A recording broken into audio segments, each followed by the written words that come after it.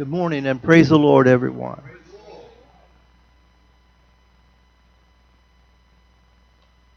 Okay. Ah, catch my breath for some reason. All, all right. So, a heap of material, a great big um, subject, and um, we better get started. I'll limit my extemporaneous uh, comments at the beginning. I get inspired sometimes. So we'll just hold it to the lesson. The doctrine of God. What a great place to begin in Psalm 19, 1 through 4.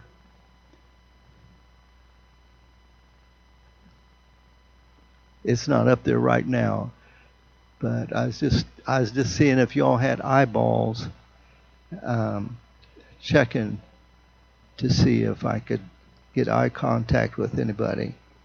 Uh, this scripture goes under the topic to begin with, uh, the, the beginning part of our discussion, uh, which will have some scriptures and subcategories to uh, go along with this to underscore the existence of God. Uh, we'll read that other scripture and a little bit later that, that talks about faith. So we know that we must believe that God is. That is, that God even exists and that He exists for us. But um, in order to even uh, get any place with God. But we're going to talk about the existence of God and uh, mentioning the argument of cause. The argument of cause has to go with the uh, um, discussion of argumentation and debate and that sort of thing. It's more of a secular type of uh, thing to uh, look at subjects where you have uh, pros and cons in subjects, and there'll be plenty of people that will get up and want to debate with you about the non existence of God. But we have one of the most profound things. And when you woke up this morning and opened up your blinds, there it was. Mr. Sun travels every morning, every morning, from the east to the west in the evening, he will set. How beautiful the sunrise, how beautiful the sunset. And there's many things that begin with that. Poets talk about it. Talk about it as the beginning of things in your life. The birth being the dawn, the death being sunset, and so on. So we have a lot of poetry out there that is connected with this. The heavens declare the glory of God. And we see that, well, not as much as we would like in uh, Indiana, but uh, Mr. Sun shows up uh, a little better in, in, some other parts of, of the world. Back in Ohio, it was basically the same kind of weather. Overcast skies is quite prevalent in this part of, uh, of the country. Romans 1:20 underscores this subject, the existence of God. For the invisible things of Him from the creation of the world are clearly seen, being understood by the things that are made, even His eternal power and Godhead, so that they are without excuse. Speaking of unbelievers. Um, this lesson of necessity, and I say there's nothing wrong with it. Sometimes a speaker likes to get up and talk, and uh, sometimes just to hear themselves. And uh, maybe pleasing speech and voice and so on um, makes it nice for a hearer. But the uh, most important thing that we can do, and the most, is to speak it and hear it. For faith cometh by the hearing of God, does it not? So uh, you may not get as much faith out of what I have to say and my comments, but faith comes and is born of, created by, the Word of God. So I'm going to be reading quite a bit of Scripture today, and uh, we'll see how far we get. Uh, we're we're on the down of the uh, first half hour of class. A lot of preliminaries. Creation's design, the incredible orderliness and complexity of the universe from atoms to galaxies testifies to the existence of the designer. All you have to do is contemplate that. Astronomers ought to believe, of all people, ought to believe in God. God's being, that is, his existence. How could we even have the concept of a transcendent God unless He placed it in our minds and hearts? Where would the thought come from? Where would we contemplate that? Or why? But He put it into our hearts, that empty place, that, that hole that Brother Julian talks about. We all have that place that's waiting, that vacant place that's waiting on Him. He put it there because He wants a relationship with His creation. The morality of God. Romans 2:15 which show the work of the law written in their hearts their conscience also bearing witness and their thoughts the meanwhile accusing or excusing one another. Morality. The morality that's put within our hearts because we are in God's own image. Morality comes from God, it's born of God. And that part of us that is of God demands that there be an immor- uh, uh, a morality, and that thing we that accuses us or excuses us is a conscience. God put it there. The existence of God answers the ageless question why does everyone have a conscience? And why does every human society have some concept of morality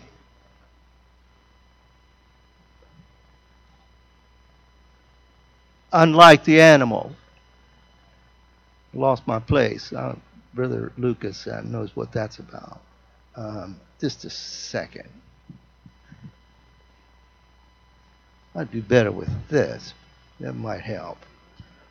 When they do the computer, you know, they click a button and it moves it up like that. So, you know, they can keep track of it more like that. But a lot of a lot of stuff written on a page here. Congruity. The definition of congruity is agreement or consistency, appropriate and suitable. Psalm 14:1 gives us the best explanation in light of all of the evidence that we've talked about here. The fool has said in his heart that there is no God. They are corrupt. They are they have done abominable works. There is none that doeth good. How can we say there is no God in light of all of the evidence past my thinking. I think we're so busy about things. Um, um, the people of the world are so busy about winning, success, gaining, or the other side, pleasure, entertainment, and foolishness. We talked about this, and that is the faith, faith that's in the heart. But without faith, it is impossible to please him. For he that cometh to God must believe that he is, that is, that he exists, and that he is a rewarder of them that diligently seek him. My mind goes back to when I first believed that he that I could find some relief, that is a reward of seeking him that I could find forgiveness of sin. That is a reward of seeking Him. That's the first reward a clean heart, a clear conscience. Follow that up with baptism. You talk about an experience. Wow.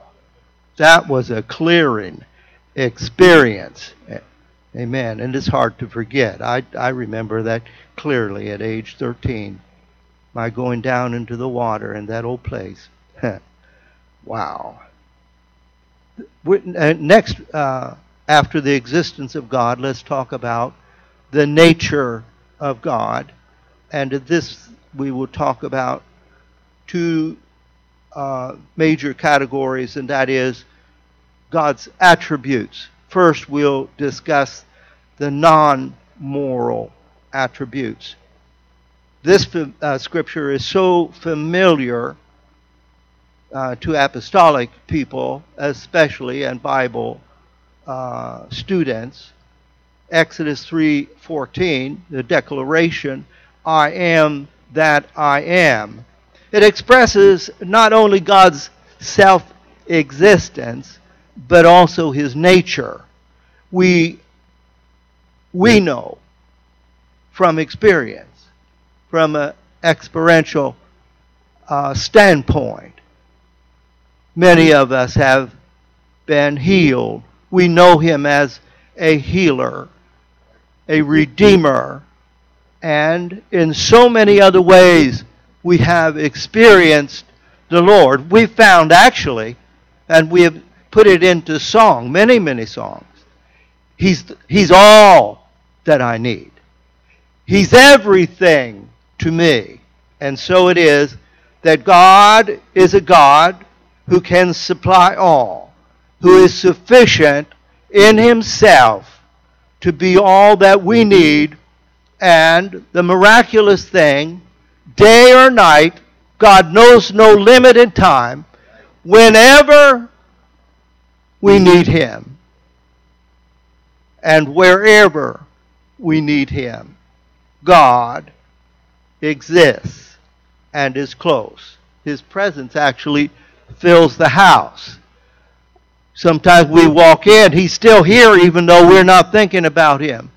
It's when we bring him into our consciousness that we feel him and we call him close. That's like that's stepping in to the th- over the threshold and into his presence when we view the throne of God and we approach. And he says, approach.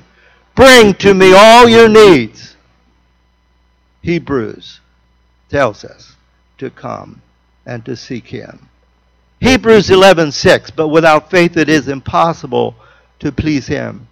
For we he that cometh to God, we just read this, but it fits under this. Must believe that he is and that he is, is a rewarder of them that diligently seek him. God's attributes are awesome, and especially to those born again, spirit filled, and living in close relationship with Him, who experience Him as the psalmist did. Psalm 150 and verse 2 praise Him for His mighty acts. That's how we experience Him. from the washing away of our sins, from, from the time of forgiveness for our sins, and all through our life in our daily walk and fellowship with Him, we experience His mighty acts. It's the, you know it's those daily experiences that you have actually that builds a relationship with God and brings us closer to Him. Uh, the apostle talked about building a, a building. And so uh, that's how we do a relationship. And that is brick by brick, prayer by prayer. And Isaiah said it this way line upon line and precept upon precept. Uh, and so it is step by step as we take, as we call it, the journey of life. And it is those daily experiences with God, those mighty acts, that we build up a great praise. So much so that it bursts forth in uh, according to his excellent greatness. Psalm 152. Then let us speak of his nature and let us reach for the meaning uh, in I am that I am. That is his attributes. God is a spiritual being. John 4:24 God is a spirit and they that worship him must worship him in spirit and in truth. Secondly, God is life. John 1 4. In him was life, and the life was the light of men. 1 John 1 1 and 2. That which was from the beginning, which we have heard, which we have seen. This, I, I tell you, when I read this scripture, this is so precious. To think that they sat and in close contact with the Lord Jesus like this. They physically, but we in a spiritual way connect with Him in the same way. Now, read what it, it says, which we have seen with our eyes, which we have looked upon, and our hands have handled of the word of life. Wow. For the life was manifested, and we have seen it, and bear witness, and show unto you that eternal life which was with the Father, and was manifested unto us. John, who is known as the beloved dis, uh, disciple, is speaking to you and me through that loving relationship, probably felt more of him than the others. Otherwise, it would not be known that he was the beloved disciple. It overwhelmed him and how he put that into writing so that we could understand his feelings toward uh, the Lord Jesus, but also the very experience of doing that, which they all, no doubt, had occasion to do. Uh, third, that God is individual. Now, normally we, we wouldn't need to define this, but let's let's have a little understanding of of this word because it seemed a little different to me. Uh, but definition of it is it's an adjective. It a distinguished distinguished by special singular marked personal characteristics or existing as a distinct indivisible entity god indivisible. I know that there are some that divide him up and have for a long time, but we don't divide him up like that, do we? We understand that God is one. Genesis 1 through 3. In the beginning, God. That is, alone. All by himself. Created the heavens and the earth. I'll let it go at that. And further, we've discussed this just recently in Bible study in the P52. Genesis 1 26 and 7. And God, that is Elohim, which is plural, speaking of God. And then we just said that he was indivisible. It is speaking of uh, the plurality speaks of majesty. So we, we would talk about that uh, here. Let us, that is the plurality of attributes, not persons. So we'll discuss that later under Almighty. Make, um, let us make man in our own image, after our likeness, and let them alone have dominion over the world. So I'll slip on. Four, God is rational. Isaiah 1 18. I'm glad that he's rational, not. Yeah, a lot of folks, they get heat of the moment, you know, make decisions on the heat of the moment. It, it doesn't do that. He just said, Come now, and let us reason together, saith the Lord. Though your sins be as scarlet, they shall be white as snow.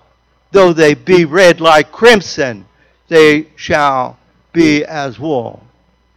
You know, that rational uh, thinking like that is what gives us hope. That when we fall, we can get back up and He mm. will strengthen us, forgive us, and help us on our way. And we understand that of God, so we understand that He will speak to you and talk to you and encourage you. And that's part of the comfort that He brings to you as the comforting Spirit. He comes and reasons when, with you, especially when we say we can't make it. We've, we've gone over the limit. Uh, it's impossible to do anything about it. I say all of these things the Spirit says. Now, we'll sit down here and we'll talk about this a little bit. I say you're looking at your side of it and your limitations. And let's look at it from my standpoint. You see, I can do anything. And I can go anywhere. So we pray for our relatives that are not even close to us. We pray for our church members that are not close to us. And so it is we place people and things in God's hand when we can't do anything about it. And that's rational thinking. He put that in our capability because that is part of his nature. Wilt thou say then unto me, Why doth he yet find fault? For who hath resisted his will? His will. That's that rational part of God. Then God is invisible. John 1:18 No man hath seen God at any time, the only begotten Son, which is in the bosom of the Father. He hath declared him. So I guess maybe that's why we like the red letter words, we think. It's a better declaration. 1 Timothy 6 16 says, Who only hath immortality, dwelling in light, which no man can approach unto, whom no man has seen nor can see, to whom be honor and power everlasting man. Then let's talk about the self God is self existence, the existence of God.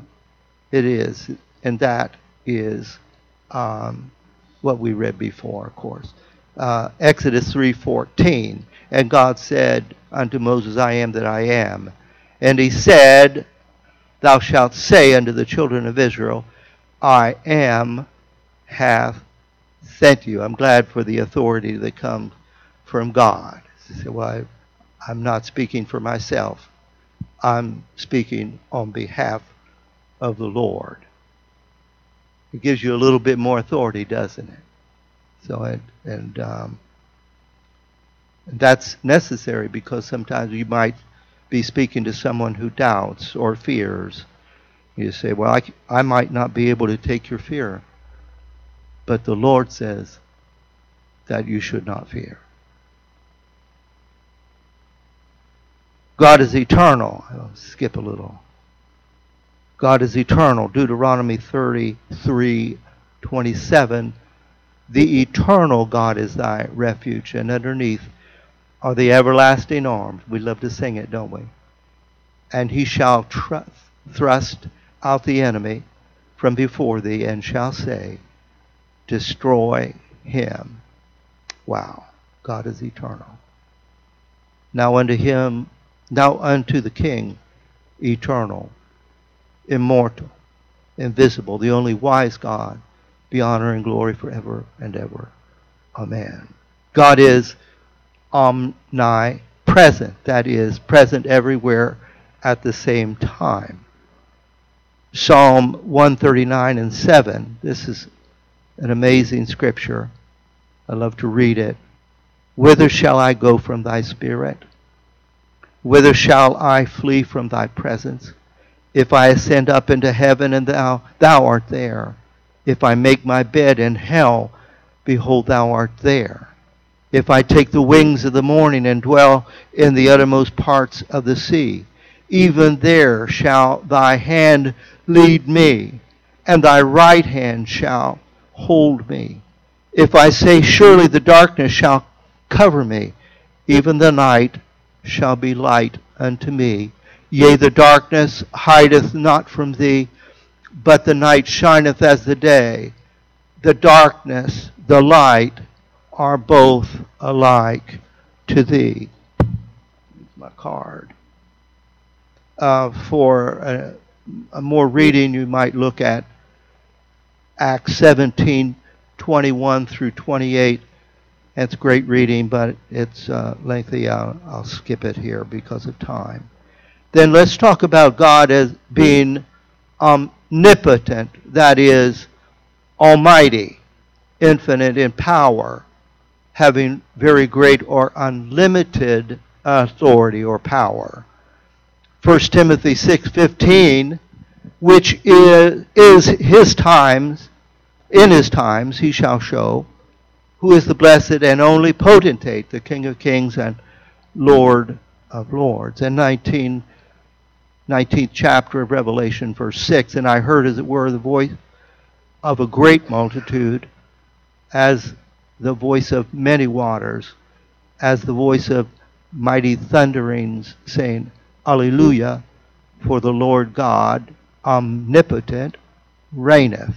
The word omnipotent actually occurs only once in the entire Bible. We see that power, that almighty power, everywhere from Genesis to Revelation but only here at the end of Revelation is he declared to be omnipotent. The more frequent word that we're familiar with is used, and we often sometimes uh, declare it in praise to God, understanding that He is Almighty, the Almighty God. A term for God meaning sufficient or all powerful, which is used 48 times in the Old Testament and nine times in the New Testament. And I noticed that the first time in Corinthians, it is a quote from the Old Testament. Genesis 17:1, we see the first occurrence of it as God revealed himself to Abram.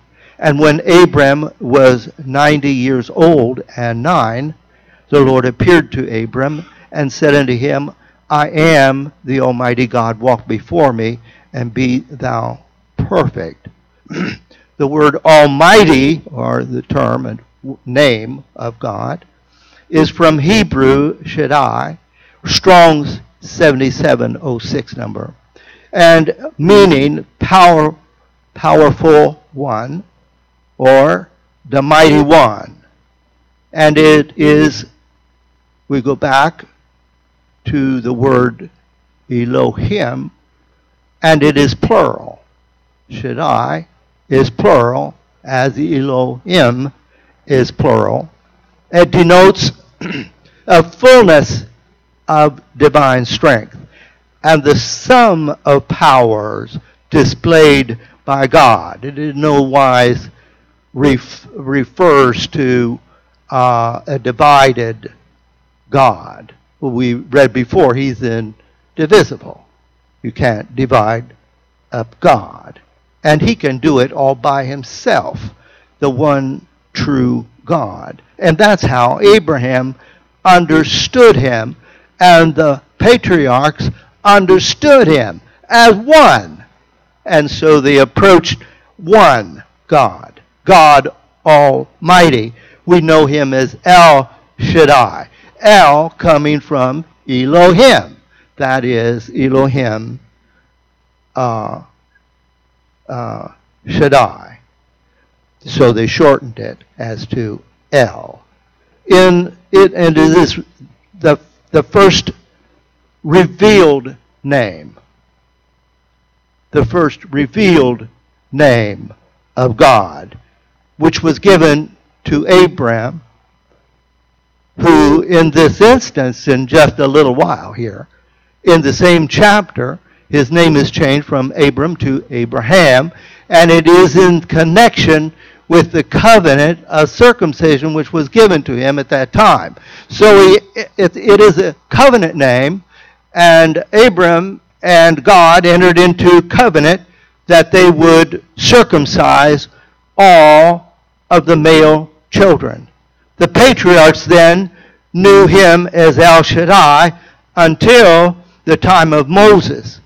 The Jewish rabbis believed the term meant the one who is self sufficient. God's covenant, then, that is, the covenant of circumcision with Abraham, it had a great circumference and it was moral and ethical in character. That is opposed to ritualistic. It, had nothing to do with ritual. It was a relationship that they had, and that is a moral and ethical relationship that Abraham actually was already enjoying. In Exodus 6 3, and I appeared unto Abraham, God is declaring to Moses, unto Isaac and unto Jacob by the name God or El,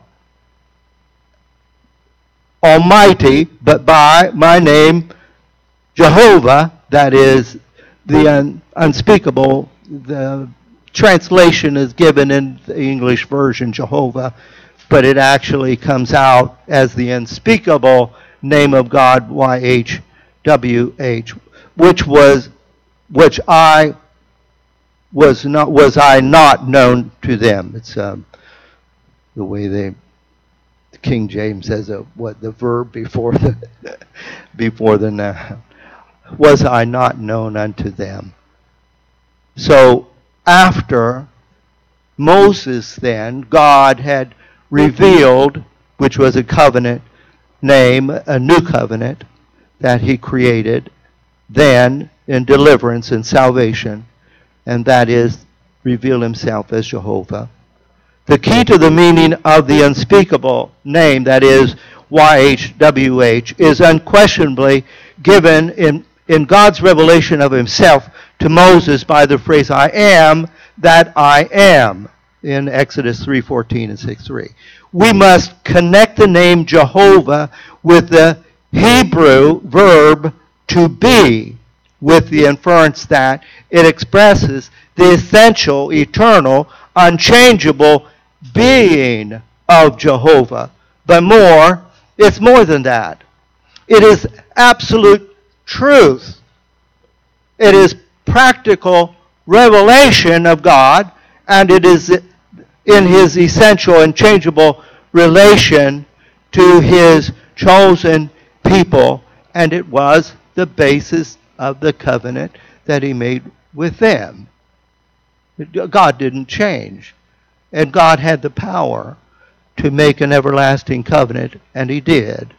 The Almighty then, in the New Testament usage, this, this title belongs to the same God, of course, as the Old Testament, as the Creator, but expresses more that it is his relationship to all that he has created.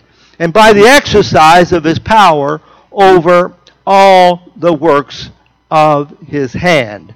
And so Revelation actually, it is used once in Corinthians and then picks it up in and is declared, God Almighty is declared many times right there, uh, eight times actually, in the book of Revelation. And those are the only occurrences in the New Testament. The primary usage of it comes from the Old Testament, we have a great understanding of it. But I'll tell you what it did. That language put it into our vocabulary. When we lift our hands and praise Him, oftentimes we declare that He is Almighty.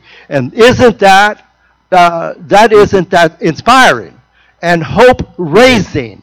I'll tell you, it is a lifter up of your head when you're hanging down and you got trouble that you're dealing with, a dark spot you have going through in your life but I tell you, calling on the Almighty God will brighten the day for you and make that valley a little higher and bring the mountain down a little bit lower. Yeah, because you know that you are in relationship with that same God that spoke to Abraham, revealed himself to the patriarch repeatedly, and then revealed himself as a man.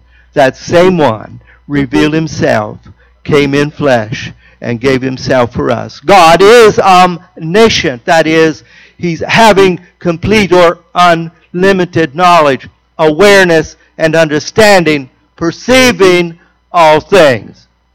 Some scary at times, but uh, Psalm 139, verse 1 through 6, O Lord, thou hast searched me and known me. Thou knowest my downsitting, mine uprising. Thou understandest my thought afar off. Thou compassest my path and my lying down, and art acquainted with all my ways. For there is not a word in my tongue, but lo, O Lord, thou knowest it altogether. Thou hast beset me behind and before, and, and laid thine hand upon me. Such knowledge is too wonderful for me. It is high.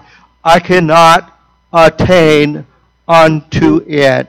Isn't it wonderful to know God like that? Job 42 and 2 says, I know that thou canst do everything. I, I thought this would be such a great scripture to read around, around prayer time. The declaration of the man who was in the midst of uh, what the Bible describes, we sure, certainly want to go through probably one of the stiffest, tr- long trials that anyone uh, was described going through throughout all of Scripture. But he said, I know that thou canst do everything, and that no thought can be withholden from thee. Acts 2.23, him being delivered by the determinate counsel and for knowledge of God, knowing everything He we, ye have taken and by wicked hands have crucified and slain. Next, God is immutable, that is, unchangeable or change less. Uh, let's look at mutable. He is immutable. Look at mutable. That's liable or subject to change and alteration. Aren't you glad your covenant and your walk with God is not like that?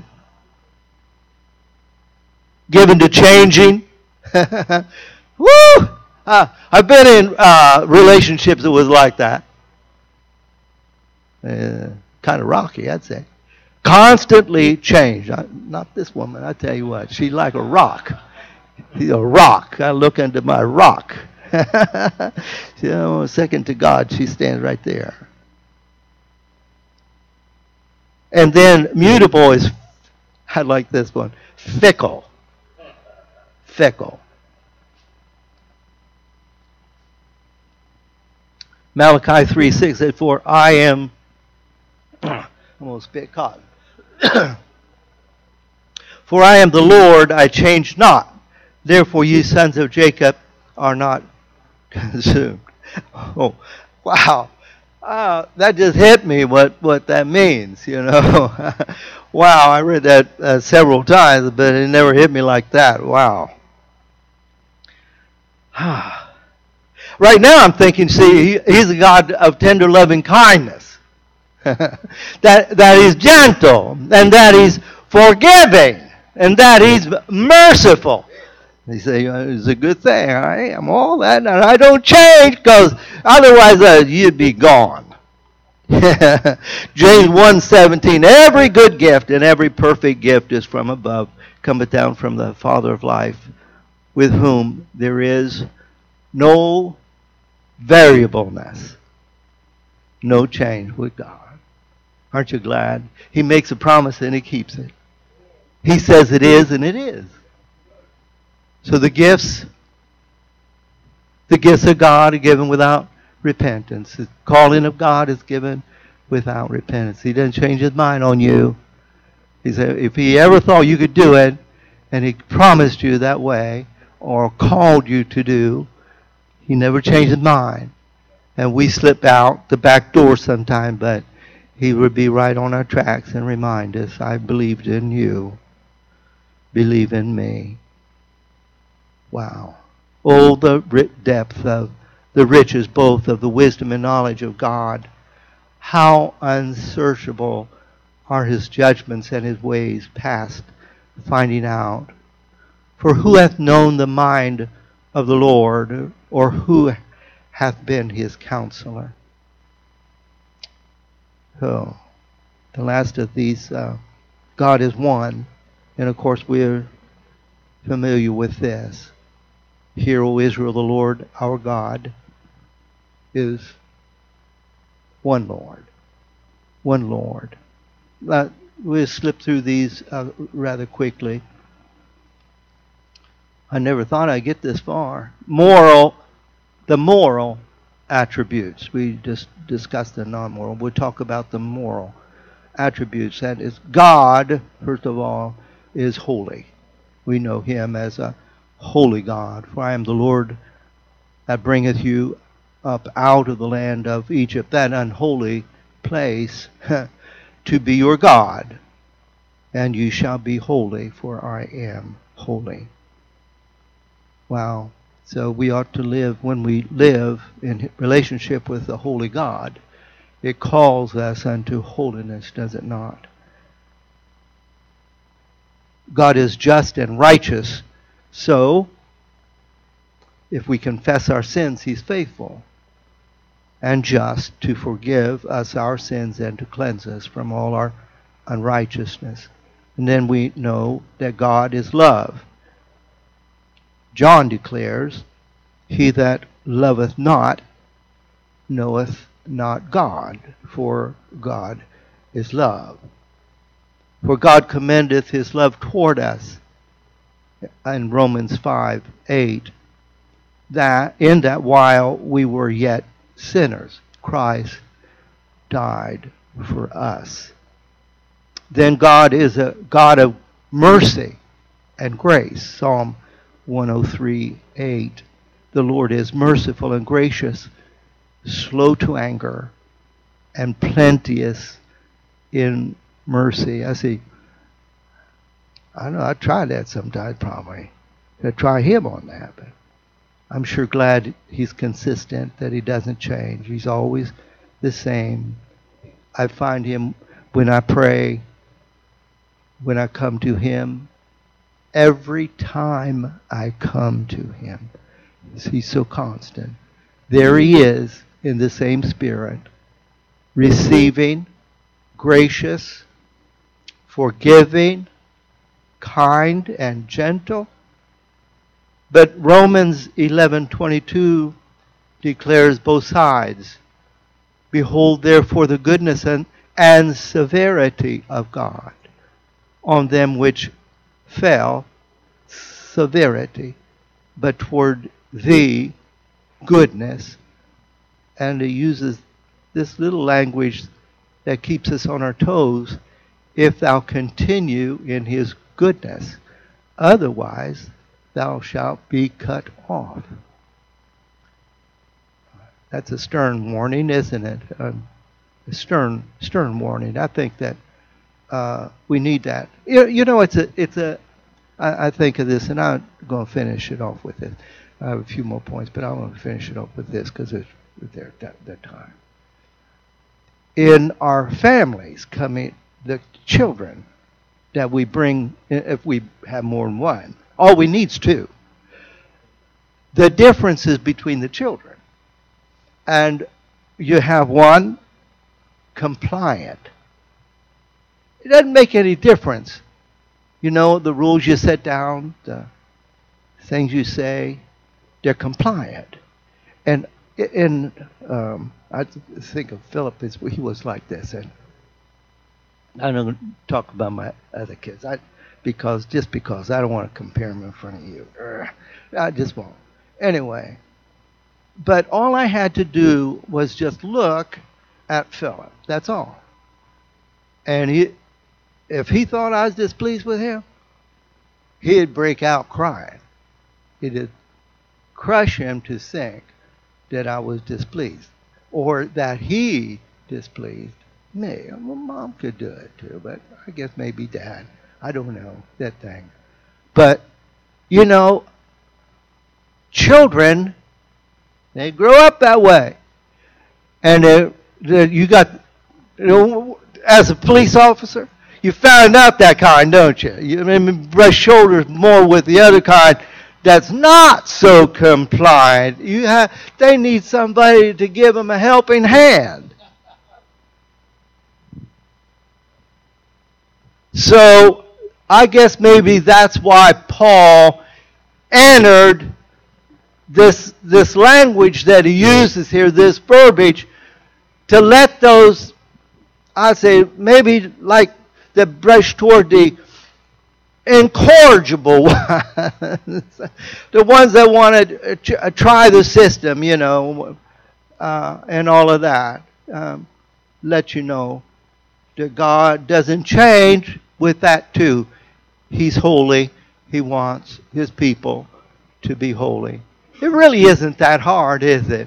When you have a heart that's tender toward God and you reach out to him, it's really not that hard because God is not really that hard to please. And that's probably because He's so good and merciful and kind and forgiving.